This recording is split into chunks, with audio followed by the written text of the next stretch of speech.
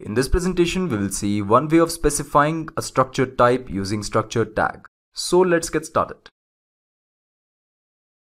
Here we can see we have a structure and we have two variables car1 and car2. Let me tell you that this structure is in the global scope. Hence it is visible to all the functions. That is why main function can access these variables because these variables are declared in the global scope.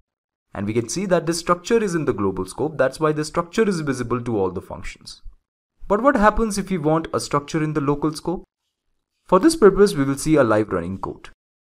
Here in this program, we have a structure which is declared in the global scope and we have a structure which is declared in the local scope, right? We can see that we have a manager function as well as the main function. Within this manager function, we have another structure which consists of same properties, but we have a different variable, right? Here we have emp1, emp2 while here we have manager variable. We actually want to store the records of the employees which are working in our company. Okay, there are only two employees and one manager. Manager information should be maintained in a separate function and should be calculated separately. That's why manager function is declared. And within this function, we have declared a structure which is local to this function. This means that no other function can see this variable manager.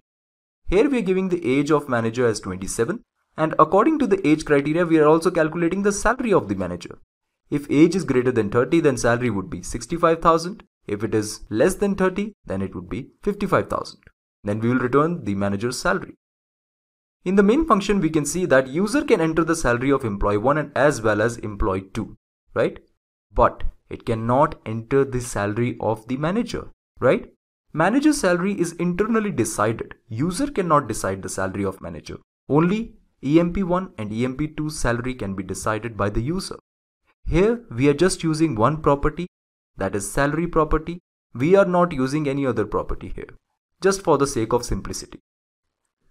We can see here employee 1 salary is decided by the user as well as employee 2 salary is also decided by the user but manager salary is not decided by the user and only by the function call we can calculate the salary of the manager.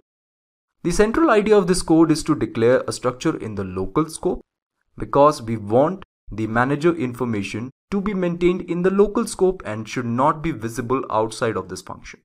Let's run this code now. Here we can see it is asking us to enter the salary of employee 1. Let's say the salary of employee 1 is 35,000. And now it is asking us to enter the salary of employee 2. Let's say it is 20,000. We can see here that employee 1 salary is 35,000, employee 2 salary is 20,000 and manager's salary is 55,000 because the age of manager is 27 which is less than 30 hence the salary would be 55,000 right? Okay. Now after seeing this code it is clear that how to declare a structure within a local scope right? We have seen this code already where one structure is declared in the global scope and one structure is declared within the local scope, right? And we can also see it clearly that there is a redundancy in the code. If the manager variable is to be declared here, then there is no problem. But if we want a variable to be declared in the local scope, then we have to redeclare the whole thing within that particular function. Here, this structure has to be written once again within this function. Isn't that so? And this has to be written just for the sake of this manager variable. We just want to declare a manager variable in this local scope. That is why we have to write this whole structure once again. But this is quite cumbersome, isn't that so? Instead of writing structures once again, we can create a type of the structure and after writing the type, we can declare variables within the functions, right? Here this is called structure tag. This whole struct employs now a user defined type and with this user defined type we can declare a variable within the function. Here we have just written struct employee manager within this function. We don't have to write the structure once again within the function. We just have to specify the type of the structure and then the name of the variable, right? Here within this main function also we can see we are simply declaring emp1, emp2 of type struct employee, right? With the help of this structure tag, we are basically creating a type of the structure. And I hope that need of creating a type is now clear to you, right? Now let's see a live running code to demonstrate structure tag.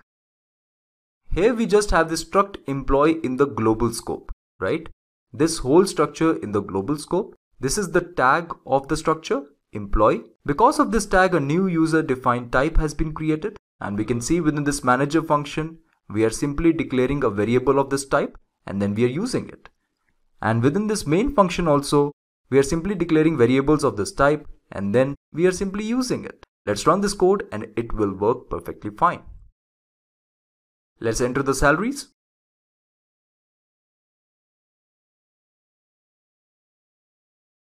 Isn't that the same output we are getting? 35,000, 20,000 and 55,000, right? A structure tag is used to identify a particular kind of structure, right? So a structure tag is actually helping us to identify a particular kind of structure. Here in this example, this is a structure tag, which is helping us to create a variable inside a function without specifying the whole structure within the function, right?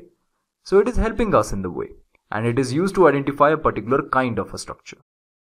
This one is also valid, right? We can create a variable over here as well with the structure tag. There is no problem. But the actual use of a structure tag is what we have already discussed, right? Okay friends, this is it for now. Thank you for watching this presentation.